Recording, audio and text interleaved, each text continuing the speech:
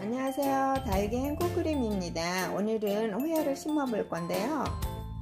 호야는 또 다육식물과로서 잎이나 꽃을 보기 위한 식물이고요. 호야가 자라는 적당한 온도는 21에서 25도 정도 되고요. 햇빛은 중간 이상이기 때문에 어, 창문이나 발코니 창측이나 발코니 쪽이 좋고요. 물은 어, 봄에는 봄, 여름, 가을에는 흙이 표면이 말랐을 때가 좋고요. 겨울에는 완전히 말랐을 때가 좋고요. 호야도 잎이 통통해서 입에 많은 물을 저장을 하고 있기 때문에 물을 많이 필요로 하지는 않고요. 장마철에는 모든 식물도 마찬가지지만 기간을 더 늘려주는 게 좋겠어요. 한 15일 정도 해서 흠뻑 주거나 전면 관수를 하면 좋을 것 같고요.